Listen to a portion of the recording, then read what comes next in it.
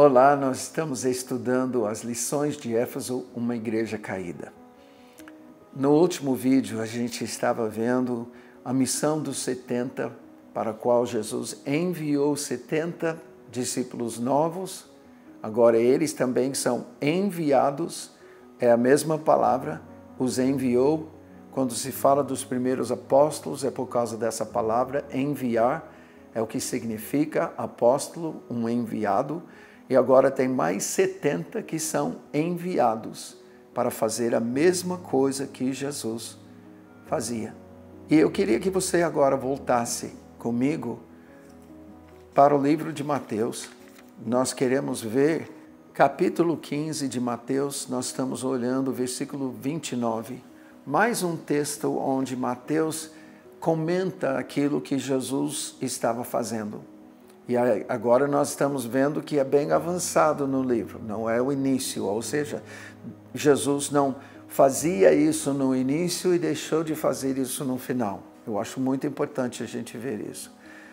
Partindo Jesus dali, foi para junto do mar da Galileia. Subindo ao monte, assentou-se ali. E vieram a ele mu muitas multidões trazendo consigo coxos, aleijados, cegos, mudos, e outros muitos, e os largaram junto aos pés de Jesus, e ele os curou. Eu, eu queria que você notasse uma coisa aqui. Jesus faz isso como missão. O que ele faz quando ele ministra, ele cura os enfermos. Ele cura tendo poder e autoridade, mas ele cura como missão. Ele está curando essas pessoas de forma indiscriminada. Ele não pergunta, oh, você já fez isso, você já fez aquilo. Ele, ele não seleciona esse sim, aquele não. As pessoas trazem. Quem chega em Jesus para pedir cura, ele cura. Quem chega para pedir cura para alguém que ama, a mulher cirofeniciana, o centurião, Jairo, todos representando outras pessoas. E ele curou. Ele tem uma missão que ele recebe do Pai. Inclusive, no livro de João, ele chama isso de obras do Pai. O que eu estou fazendo, o Pai está fazendo em mim através de mim. O que eu falo, eu não, eu não estou falando por mim, eu falo porque eu ouço o Pai falar. O que eu faço é porque eu vejo o Pai fazer o Pai está fazendo suas obras em mim. Então, o Pai deixou ou confiou a missão de curar os enfermos para Jesus, o Filho de Deus, o Messias. Para mim é tremendo imaginar essa cena. Nós estamos falando muitas multidões, tem que ser milhares de pessoas. Se nós sabemos na hora de, de multiplicar pães e peixes, tinha cinco mil homens, depois outros tantos mil homens, nós sabemos que além disso tinha mulheres e crianças. Então, aquela ocasião de cinco mil, provavelmente de 12 mil para cima tinha ali. Imagina, muitas multidões, quantos não estavam coxos, aleijados, cegos, mudos, outros muitos e os, olha, as multidões vieram ter com Jesus inicialmente, não por causa da sua pregação, e sim porque a fama passou que ele curou os, curava os enfermos. E isso de uma forma indiscriminada. De modo que o povo se maravilhou ao ver que os mudos falavam, os aleijados recobravam saúde, os coxos andavam e os cegos viam. Então glorificavam ao Deus de Israel. Uau! Só para ver mais uma coisa, veja comigo em, em Mateus, agora, capítulo 21.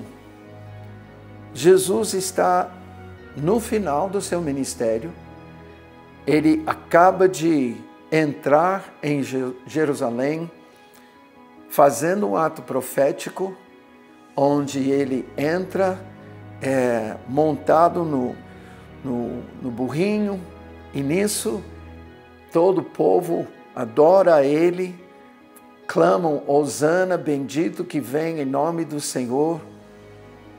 E depois ele vai para o templo. Versículo 14. Vieram a ele no templo cegos e coxos, e ele os curou. Está comentando um momento onde no templo, Jesus, na última vez que ele está em Jerusalém, antes da sua morte e ressurreição, logo ele vai ser morto, logo ele vai ser crucificado, depois de três dias ressurreto. Mas aqui estamos observando que, assim como ele começou no início, ele continua curando. Ele continua curando. E aí nós vamos para Mateus 28. Mateus 28 é um momento que Jesus chamou os onze. A gente precisa entender que nessas alturas, lá no cenáculo, depois de Jesus ressuscitar, ele entra no cenáculo, tem pessoas ali, provavelmente os 120. Então tem os 11, tem Matias, tem 70, tem um grupo de mulheres que seguiam ele, tá? Quem sabe em torno de cento e poucas pessoas. Aí tem mais um tanto que nós não temos certeza quem é. Mas tem uns 120. Mas quando Jesus chamou para encontrar com ele na Galileia, ele queria falar com os onze. Versículo 16. Seguiram os onze discípulos para Galileia, para o monte que Jesus lhes designara. Os onze. Eles estavam lá em Jerusalém. Eles têm que caminhar três dias para Galileia, para o monte. Por que, que Jesus faria isso? Eu creio que foi porque Jesus queria relembrá-los de tudo que eles tinham ministrado no dia a dia lá em, na Galileia, porque a vida lá em Jerusalém, quando eles desciam para Jerusalém, eles desciam para Jerusalém para participar das festas.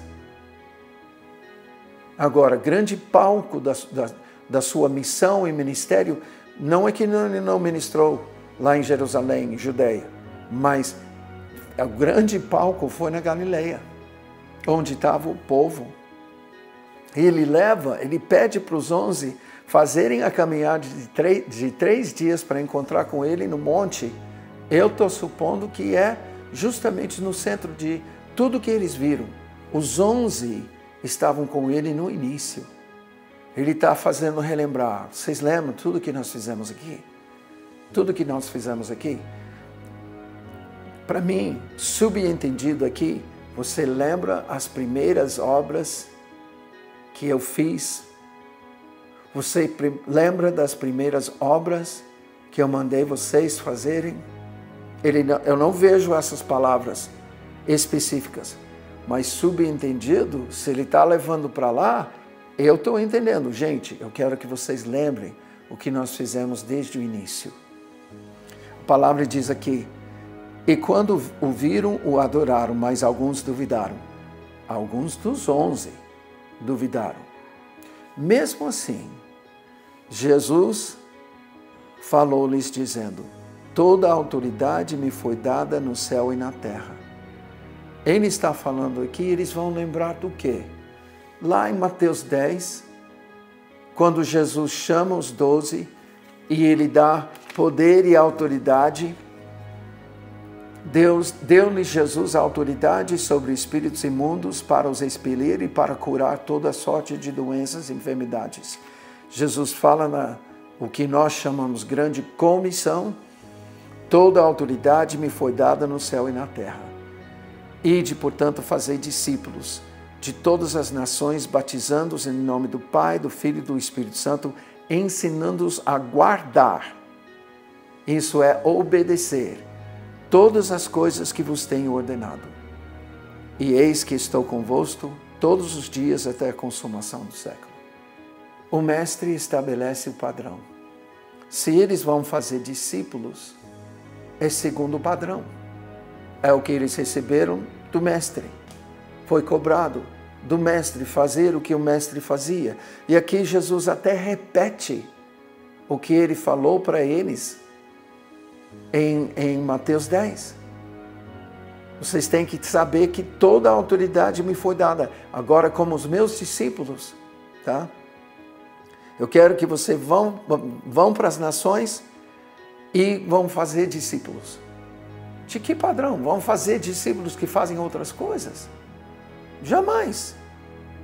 Agora eu quero que você repare, ensinando-os a guardar todas as coisas que vos tenho ordenado. Quais foram as ordens de Jesus para os seus discípulos? Pregai, arrependei-vos, pois é chegado o reino dos céus.